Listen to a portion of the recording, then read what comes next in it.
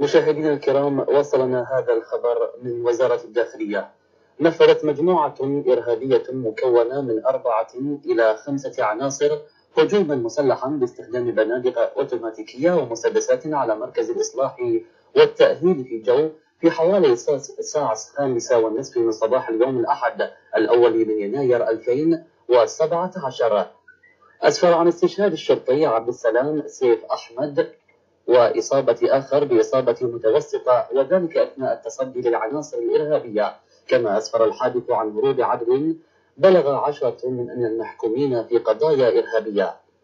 وقد أصدر فريق الركن معالي الشيخ راشد بن عبد الله الخليفة وزير الداخلية قرارا بتشكيل لجنة للتحقيق في الملابسات الواقعة وبشرت الأجهزة الأمنية المختصة فور وقوع الحادث إجراءاتها في الموقع وحوله والطرق والمنافذ المؤدية إليه وإخطار النيابة العامة. هذا وتكثف الأجهزة الأمنية من أعمال البحث والتحري للقبض على العناصر الإرهابية المتورطة وكذلك المحكومين الهاربين المتورطين بارتكاب أعمال إرهابية أفضت إلى قتل وترويع المواطنين والمقيمين. وهم أحمد محمد صالح محمد الشيخ 26 عاما.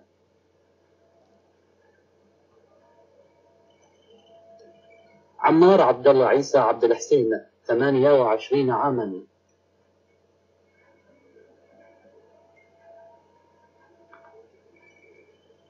محمد إبراهيم ملا رضي آل طوق 26 عاما.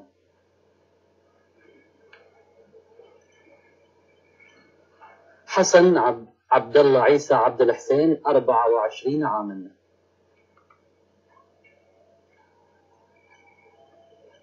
عيسى موسى عبد الله حسن 24 عاما.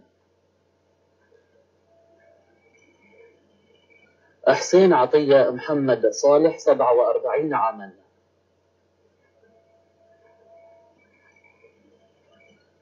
صادق جعفر سلمان حسين 27 عاما.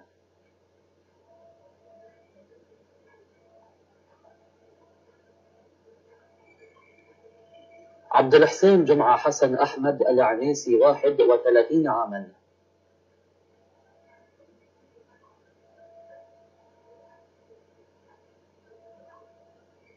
رضا عبد الله عيسى الغسرة 29 عاما.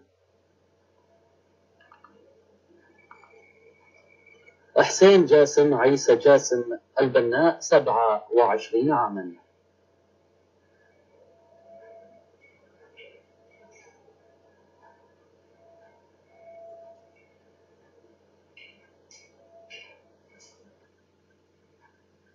وتفعيلا لمبدأ الشراكة المجتمعية وأهمية تعاون المواطنين والمقيمين انطلاقا من حرصهم على الأمن المجتمعي. تفيد وزارة الداخلية بكل من لديه معلومات تساعد في إلقاء القبض على المحكومين الهاربين والعناصر الإرهابية التي قامت بمساعدتهم في التخطيط والتنفيذ والإسراع مشكورا بالاتصال على 999 أو الخط الساخن 8000 8008 مع التأكيد على ضمان سرية المعلومات محذرين في الوقت ذاته.